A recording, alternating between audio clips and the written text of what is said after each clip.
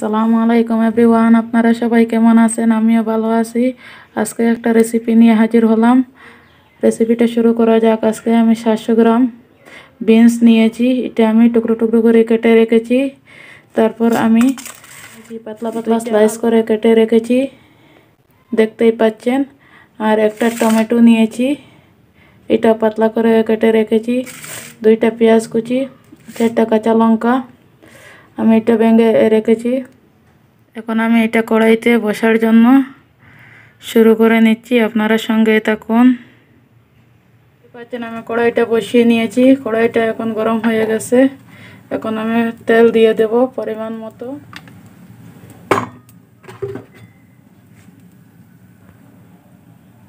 তেলটা আমার গরম হয়ে আসছে, দেখতে পাচ্ছেন? দিয়ে দিচ্ছি। পেঁয়াজটা দিয়ে দিয়েছি, এখন আমি এটা নাড়ে চেড়ে দিয়ে দেব। দিয়ে দেবো আমি কাঁচা লঙ্কা দিয়ে দিচ্ছি কাঁচা লঙ্কাটা। দেখতেই পাচ্ছেন।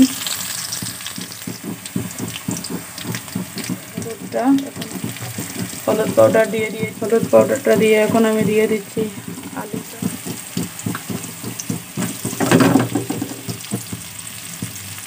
আলুটা দিয়ে আমি ভালো মতো নেড়ে চেড়ে দিয়ে দিচ্ছি।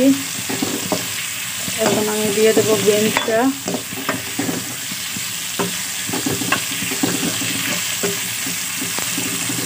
আলুটা একটু সিদ্ধ হয়ে গেলে তারপর আমি বিনসটা দিয়ে দেবো। এখন আমি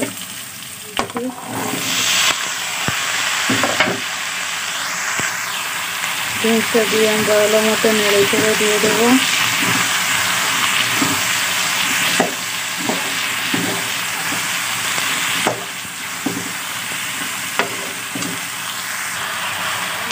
দিয়ে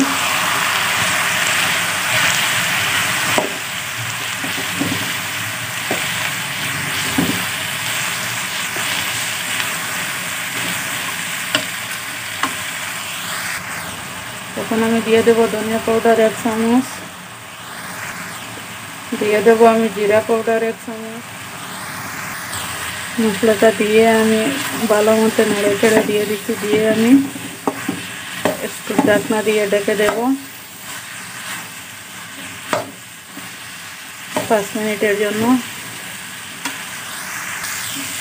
দেখতেই পাচ্ছেন আমারটা একটু একটু সিদ্ধ হয়ে একটা আমি স্লাইস করে কেটে রেখেছিলাম, এটাই আমি দিয়ে দিচ্ছি। দিয়ে আমি ভালো মতো নেড়ে ছেড়ে দেবো।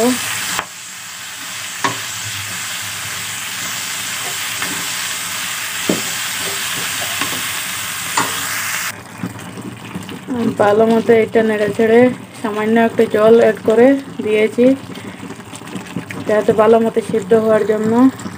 এখন আমি ডেকে রাখব, বিশ মিনিট পর আমি ফিরে আসব। দেখতেই পাচ্ছেন, আমি বিশ মিনিট পর আবার ফিরে আসছি। এখন আমার সবজিটা সিদ্ধ হয়ে গেছে, পুরোপুরি হয়ে গেছে আমারটা।